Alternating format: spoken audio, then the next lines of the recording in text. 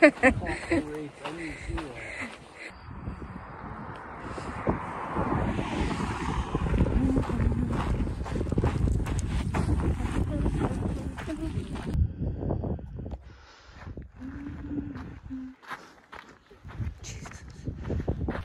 right, guys. If it's not one thing, it's another thing. Or I don't know how that saying goes. Uh, woke up today and I had just a little ting of hip pain, and uh, went by our, went through our day. Went to Starbucks. Did some more editing. We got our hitch to Walker Pass um, at four and then uh, and then I got here, we got my pack on, did half a mile, and my sciatica is killing me on my right side. So I told Fluffernutter to just go ahead and, you know, do his own pace. And, you know, I might see him later tonight if I keep walking. But I'll definitely see him at Kennedy Meadows since he'll be there till the 8th. Uh, but yeah, the man, it's rough. Sciatica pain fucking sucks, man. And hopefully it, it gets better, not worse. All right, well, who made this cruel joke? I can't reach it. Like, my head comes up to here. oh my God. Hold on. I love that. I named a fluffernutter. This is Michael. He was a JVJ, I believe. I don't know. John Von something from Lady Miserables, I I like that play. And I guess he kind of looks like him. But Fluffernutter. it's so cute.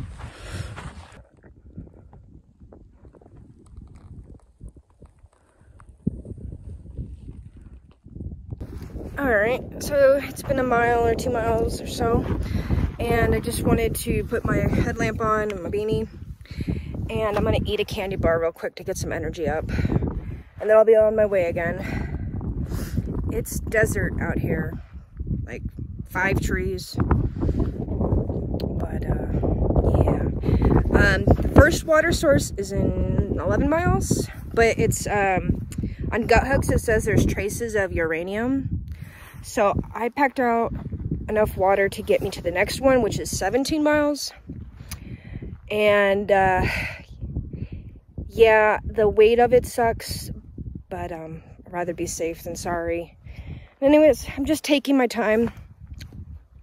There's a campsite in two miles, campsite in four miles, um, and then after that, campsite in 13. So kind of aiming for the 13. That seems good with my sciatica acting up. But if it's before that, that's fine. I literally have plenty of time. I have, I think, 40's worth of food that I could maybe squeeze out to five if I needed, which I don't. Three or three or four days is enough. And it's uh, Wednesday night right now, and my dad's coming to Kennedy Meadows Monday. So I literally have Thursday, Friday, Saturday, Sunday, four days. And then I could even, and then I'm hiking tonight. So that's some miles. And then I could even um, finish Miles on Monday because he won't be there for a while. So I have plenty of time, taking my time. I do not want to further injure my sciatica nerve because that could take me off trail. Um, yeah, but what a fucking peaceful, beautiful night. I'm I'm really happy to be out trail. I left Fluffernutter because I because I told him because of the sciatica and I didn't want to hold him back. But um, I kind of like being by myself the first night to get in the groove um, it's like, I don't know, I'm wonky when I first get back on trail and then it, then it starts setting in and I'm good to go. Um, so yeah, I'm in a good mood. Oh my God, I hear coyotes, but way off into the distance. Hopefully they stay that way. If it's not fucking mountain lions, it's coyotes. My God. Ah! All right, guys. It's uh, nighttime now. We're getting there. Still got about three miles uphill. And uh, yeah. Guys, we finally got it. the scorpion. Ah. There he goes. Scorpion.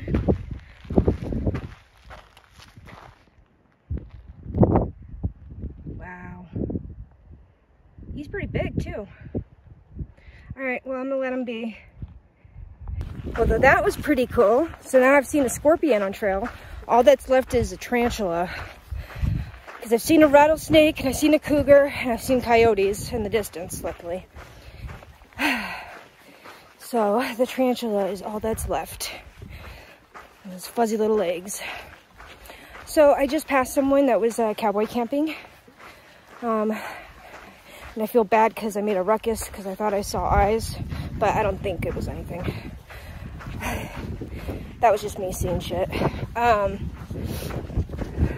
so yeah, it, it, I don't know why, but it, it like, excuse me, I feel safer knowing that there's someone behind me camping. So like I could run to them or something.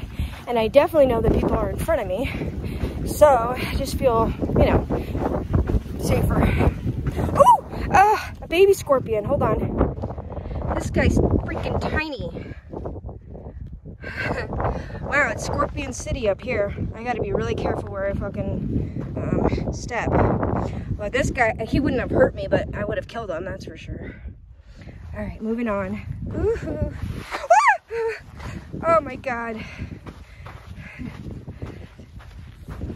I am pretty uh, aware of my surroundings right now. Scorpions and rattles and all kinds of things. Jesus. God, this is an even smaller one. It's like I've seen Papa, Mama, and Baby. They are out tonight. Like, I, I have to be really careful where I step. All right, guys. Um, these are giant ants. Uh, I don't think I've ever seen them this fucking big. It's hard to tell in the video. Oh my god, they're scattering. Oh god, they're scattering. Okay, I gotta... I mean, uh, who knows if they bite.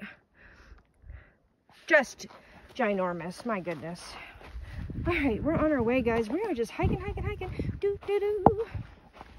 All right, guys, I found the smallest one. Look at this bad boy. Tiny. There's my shoe. This is the sixth scorpion I've seen now on trail. This is a scorpion-licious trail, that's for sure. And what the issue is, is it makes hiking slower because I have to watch where I step. Uh, and it's dark, so yeah, not going as fast as I would want, like to. Holy shit, I lied. This is the smallest scorpion. Look at that. It's the size of my fingernail. They're everywhere. Hey guys, it's about um, 10.30 right now. It's a little windy, sorry. Um, I'm trying to find a campsite so I can sit down and have like a dinner or like fourth meal. and also I need to put a brace on my ankle. It's starting to really hurt me. Um, I just got to a campsite, but someone was there, and so I didn't want to disturb them. So there's one in 0.8 miles, and hopefully that one's uh, not taken. And so I can eat my peanut butter and jelly and put my brace on and so forth. All right, I'll get get to you when I get there. I found this uh, rock area. It's perfect to sit on, and I'll have lunch here. Um, it is windy though, that sucks.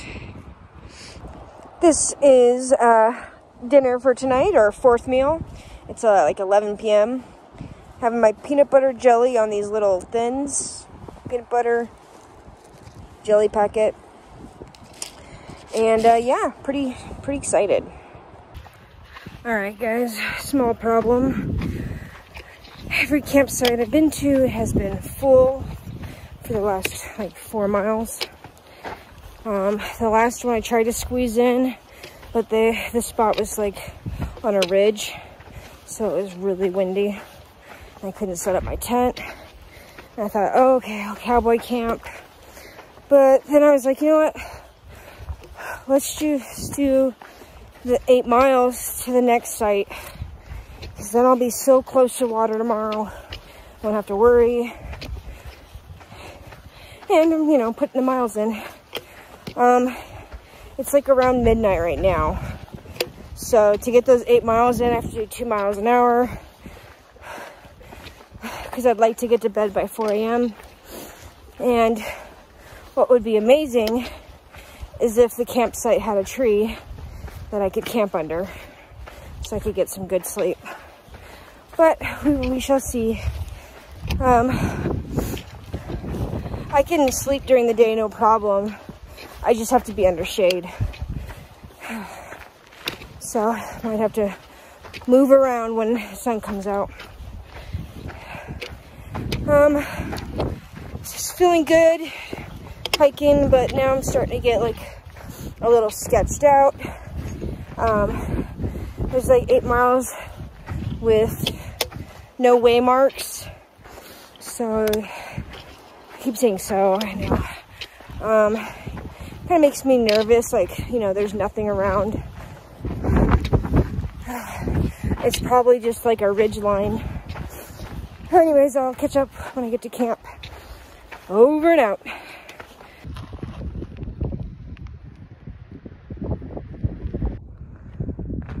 There we have it, guys, the sunrise.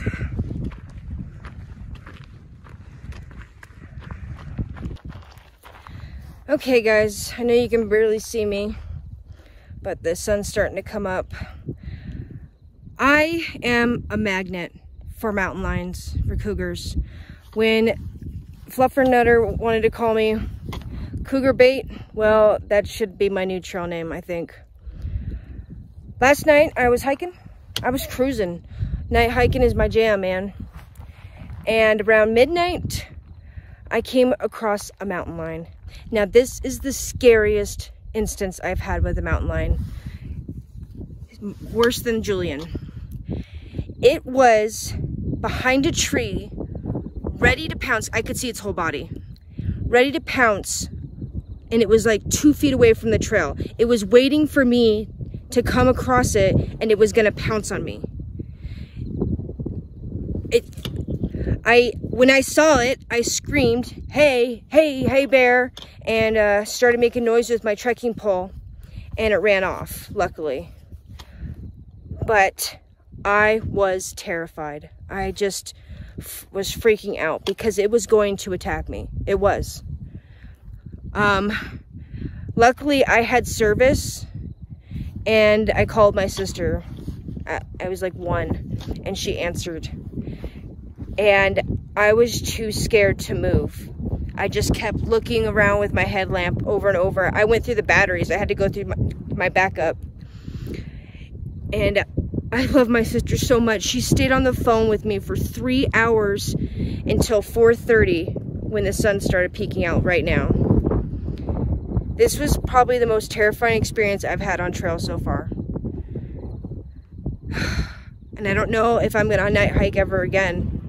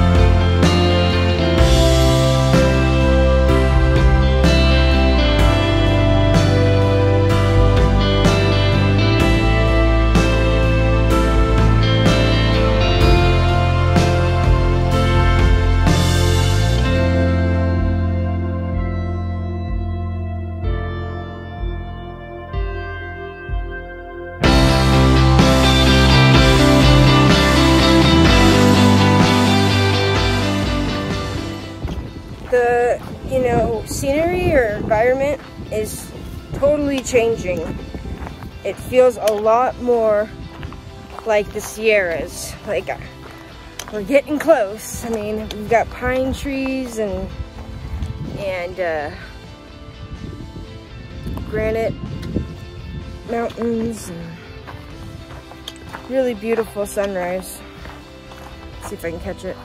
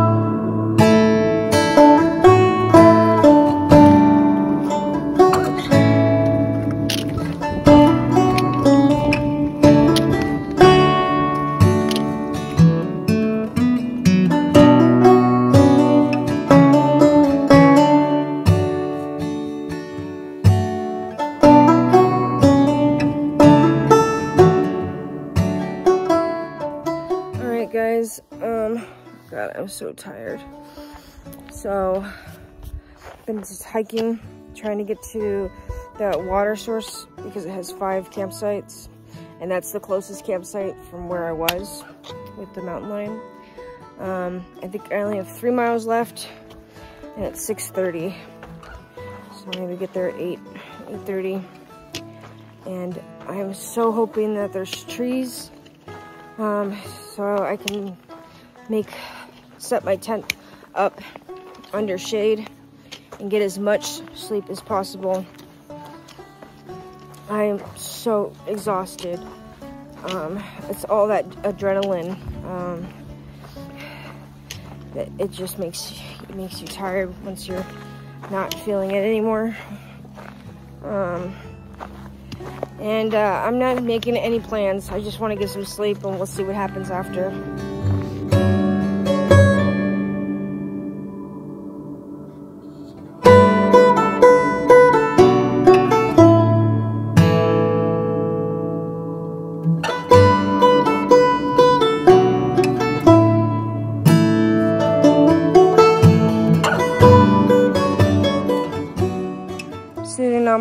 Taking a small break. My hips are killing me. But looking at this view, you know, it's a, it's a valley and uh, there's nothing around. It's kind of cool. This is where I camped all day.